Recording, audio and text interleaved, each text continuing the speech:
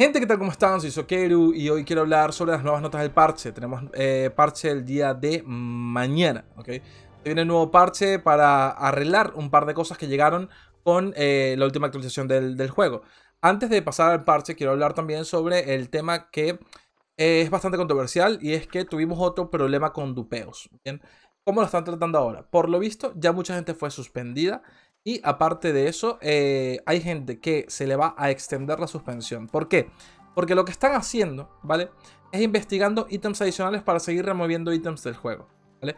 Pero no solo eso. La suspensión para muchos parece ser que dice una cantidad de días, pero eh, realmente se puede extender. Porque no les van a dejar entrar al personaje hasta que eliminen todos estos ítems que fueron dupeados.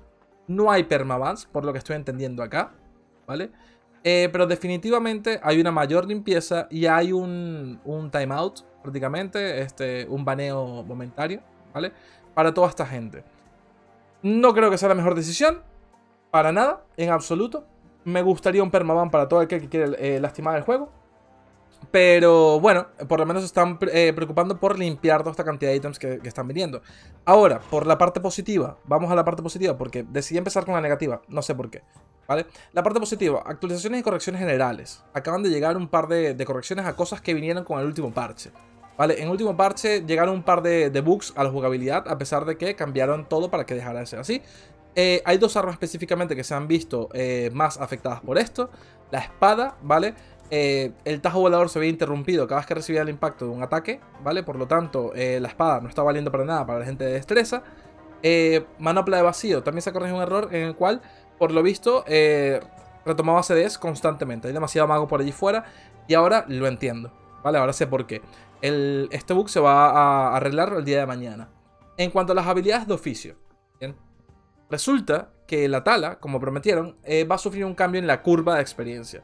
Debería ser más fácil subir los primeros 100 niveles, se va a notar mucho más allí, pero también han reducido la cantidad de experiencia que hace falta en el resto de niveles. ¿bien?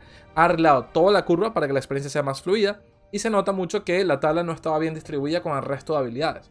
Te pones a, minar, subes mucho más rápido esa profesión que, la tala. Y la tala la verdad es que a mucha gente le gusta, pero a otros nos da pereza. Me incluyo a mí dentro de toda esta, esta cantidad de gente que no disfruta de la tala, ¿vale?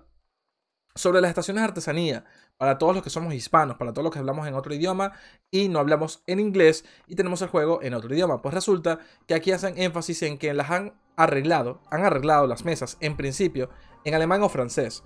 Pero asumo, ¿vale? Me gusta asumir y creer que también las han corregido en español, ¿vale? Para que eh, podamos utilizar las mesas de crafteo sin problemas, ¿vale? En cuanto a la guerra, por lo visto han habido dos errores que están sucediendo recientemente. Ya voy a mencionar y ya voy a hablar eh, un momento sobre algo que están diciendo aquí en el chat, no, había, no, me había dado cuenta. Y es el tema de la gente haciendo transferencias, ¿vale? Vamos a hablar de eso en un segundo. Eh, pero el punto es que la gente se está transfiriendo, está utilizando su token, hay mucho revuelo. De repente llegó este, un montón de gente con una idea de, transferencias y resulta que varias compañías se quedaron sin defensores. Así que por alguna razón no comenzaba la guerra eh, si la compañía defensora no tenía miembros. Y también se ha corregido un error en el cual el costo de la guerra no se reembolsaba si el servidor estaba en mantenimiento. Cosa que ya saben que las guerras ahora eh, no se pueden pedir ¿vale? Si está en mantenimiento, igual que las invasiones y todo, el tema, quedan como en stand-by, quedan como canceladas y se tiene que volver a repetir todo. Es un error que lleva rato teniendo el juego, ya por fin lo, arreglaron. El tema de expediciones, bien. Para todo aquel que, quería hacer Lazarus, porque casualmente era Lazarus la que tenía la mutada esta semana, eh, por lo menos en mi servidor, eh, ya la cambiaron.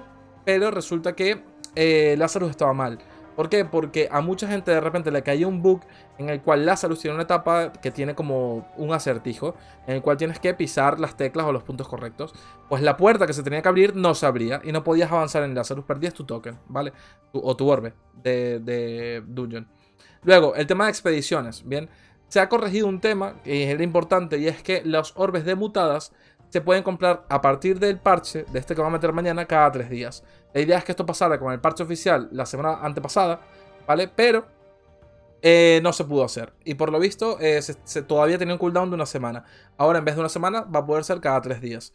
Eh, los orbes de expedición para Genesis y Lazarus también se van a poder comprar cada día. Cosa que está súper guay porque de nuevo está corregido por fin y vamos a poder hacer dungeons diariamente. Cosa que antes no era una opción. Está muy muy bien siempre y cuando tengas tus suficientes tokens para estar comprando lo tuyo.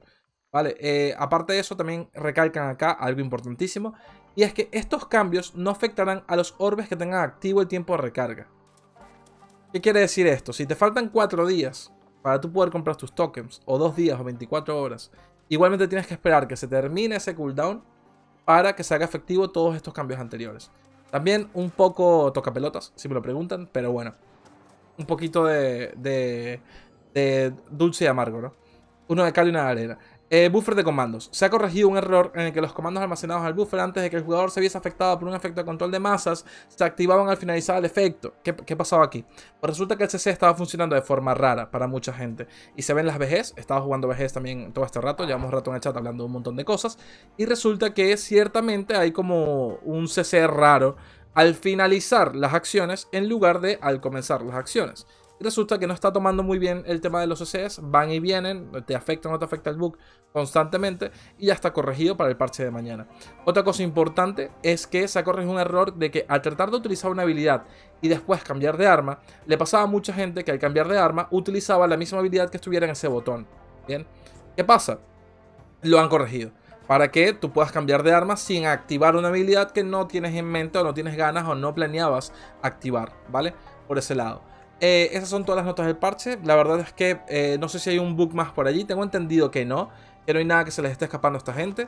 ¿Vale? Pero ahora, eh, otro detalle, otra reflexión que también quiero traer importante a todo esto. Voy a tratar de ser lo más corto posible. Y es que ha habido mucho revuelo en la comunidad española, sobre todo, e hispana. ¿Vale? sobre qué hacer porque los servidores están muriendo. ¿Por qué digo comillas? Porque los servidores no han cambiado mucho la población realmente. Eh, en las últimas tres semanas. No ha habido una bajada drástica. De hecho, lo que pasó es que el sábado, por alguna razón, hay mil motivos, la mayoría de los servidores y el juego mismo perdió mucha gente. Pero no solamente repuntó el domingo, sino que el lunes y martes hemos tenido eh, más gente todavía.